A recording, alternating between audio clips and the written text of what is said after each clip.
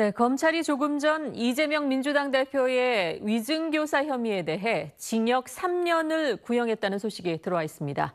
네, 법원 취재 기자 연결해 보겠습니다.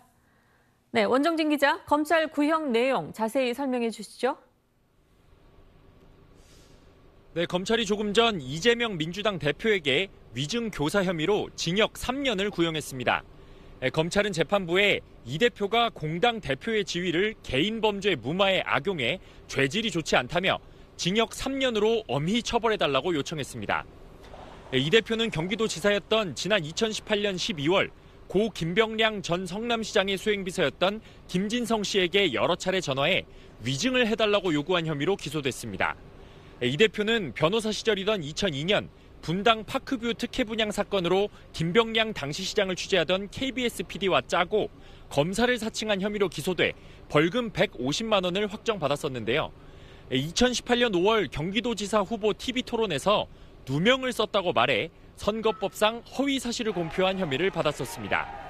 그러자 이 대표가 이 혐의를 벗기 위해 김진성 씨에게 전화해 위증을 요구했다는 게 이번 재판 검찰의 공소 사실입니다. 네, 오늘 결심 공판 어떻게 진행이 됐습니까? 예, 이재명 대표는 법원에 출석하면서부터 강한 어조로 검찰 기소를 비판했습니다. 예, 이 대표는 이런 게 사건 조작, 증거 조작 아니겠냐라며 야당을 말살하려는 이런 폭력적인 행위를 절대 용서해서는 안 된다고 말했습니다.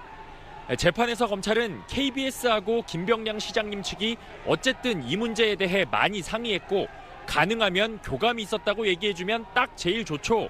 라고 발언한 이 대표 통화를 제시하며 이게 위증교사가 아니면 뭐냐고 압박했는데요. 이 대표는 직접 경험한 것을 들었다고 해주면 되지 라고 말한 것일 뿐이었다며 검찰의 기소 자체가 무리하다고 맞섰습니다. 지금은 검찰 구형이 끝나고 휴정이라서 곧 이 대표의 최후 진술이 이뤄질 예, 예정인데요. 어, 곧 선고 일정 예고와 함께 재판이 종료될 것으로 보입니다. 지금까지 서울중앙지방법원에서 전해드렸습니다.